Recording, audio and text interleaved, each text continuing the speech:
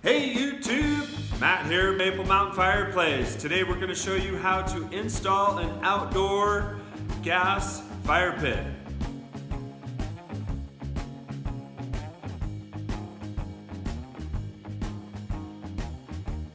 So some of the components that we're going to need obviously are the burner.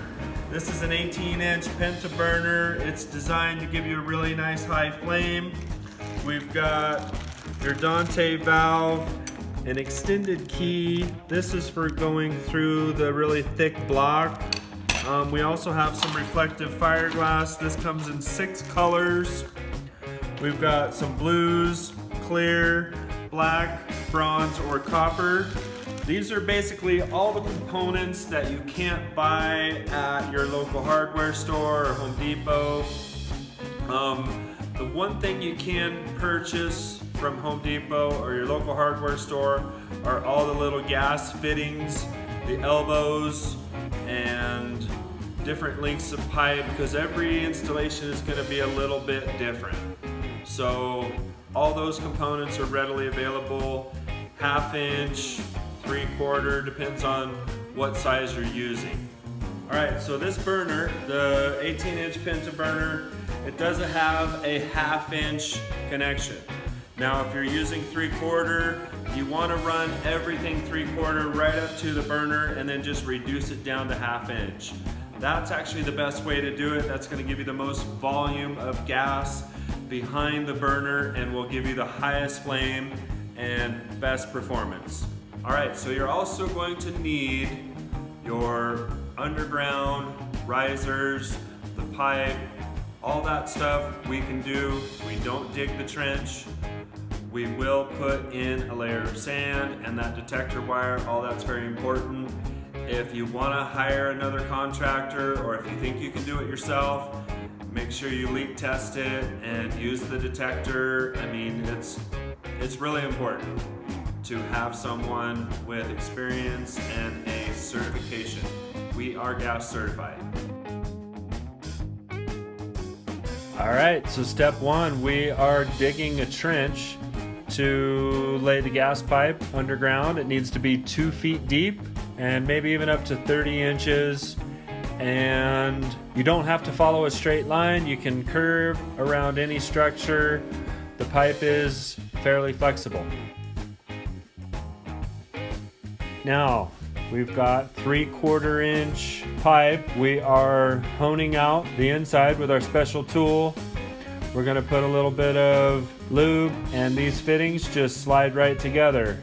So this is the riser. It is a metal piece that fits together. It's threaded to three quarter pipe. So you can see we just lay all that pipe down inside from one end to the other. Now what we're gonna do here is just lay the riser next to where we wanna be, give it a mark, and we'll cut that and we'll do the same process with honing out the inside with our special tool and lube it and slide it together. All right, so next we're just gonna hook up a temporary line, and this is just a gas flex that we're going to temporarily hook up and cap off the other end. We're going to do a pressure test and a leak test. All right, so we're just spraying it. I think we've got some Windex and we're just checking for any bubbles. We had no leaks, and now we are going to actually hook it up with hard pipe. So all of these black fittings can be found at a local hardware store. Your nipples, your elbows. This here is a union that allows you to connect a pipe in the middle and you want to use plenty of pipe dope to seal it and get them nice and tight. If you're not gas certified in the state of Utah, you cannot legally do this work for money. The underground fittings and the risers, you do have to have at least a contractor's license for a supply house to sell you this product. So again, if you have any uncertainty at all, please get professional help. Okay, one more leak test. We've got our little sniffer to see if there are any leaks. One more important thing before you bury it, we've got our detector wire. This will allow you to check to see where the, the gas line actually is. And we are also adding some sand before we throw in the regular dirt. So the sand will help to protect the gas line as well. So next we're just gonna stack the first layer of blocks in a nice little circle and you can see we have the riser off center. So you don't want the riser too close to the edge, but you absolutely don't want it in the center. So once you've got it in the place where you want, we're gonna glue these blocks together using liquid nails.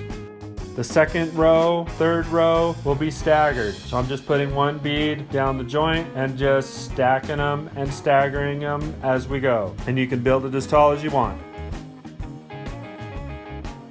So now we're adding a few more fittings, another elbow, and we're gonna put on our Dante valve. So this is the key valve that allows you to turn the fire pit on. So getting all the fittings in place, your nipples and elbows, and you want the valve pointed in the right direction. Now you wanna, after the valve, bring the gas out to the center of the fire pit.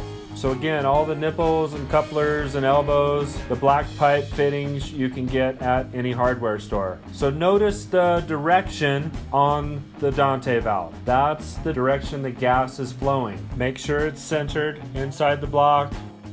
We primer everything so it doesn't rust. We add a little extension nipple for the end cap. So we cut the block to allow for the pipe extension on the key valve to fit nice and snug. So the last step with the gas line is to add the burner. And you want the burner to sit just below the top of the block. Now we're gonna fill in the space with lava rock around the burner. we wanna get the lava rock right up to the bottom of the burner. And now we're going to add our reflective fire glass. We wanna completely cover the burner and you could go up to three inches thick, but for cost sake, we're gonna cover about an inch.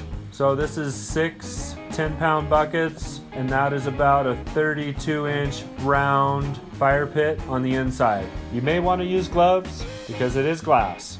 It will cut you. And now for the test, we just turn the key and light the fire pit. Make sure your eyebrows are out of the way and you're good to go. Hey, that's it. Thanks for watching. Give us a thumbs up. And if you have any questions, put it in the comments. Otherwise, be safe.